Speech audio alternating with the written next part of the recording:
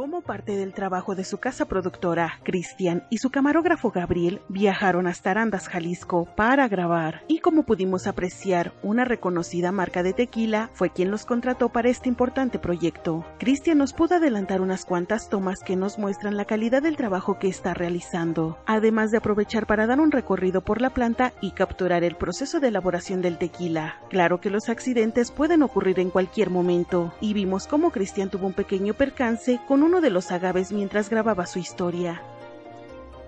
Este es un campo de agave azul. De hecho, para que esta